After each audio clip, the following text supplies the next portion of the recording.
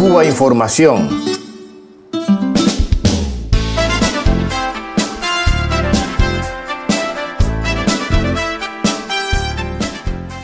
En la larga historia de golpes e intervenciones de Estados Unidos, una constante es la de atacar la economía básica del pueblo, bloquear, desabastecer, sabotear los sistemas energéticos, atacar hospitales y escuelas.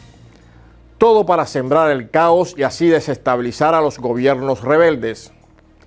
Erich Fromm decía que no hay distinción más importante entre los seres humanos que entre quienes aman la muerte y los que aman la vida entre los necrófilos y los biófilos.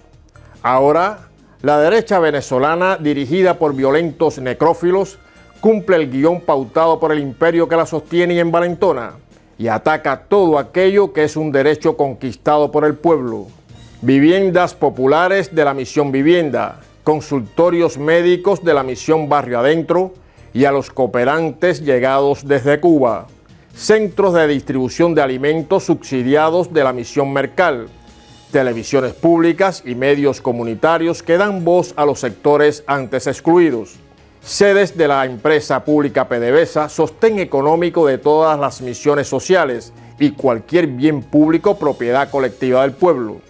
Como en el viejo fascismo, utilizan a sectores desclasados, al lumpen y a los niñitos bien de la clase media, eterna aspirante al American Way of Life.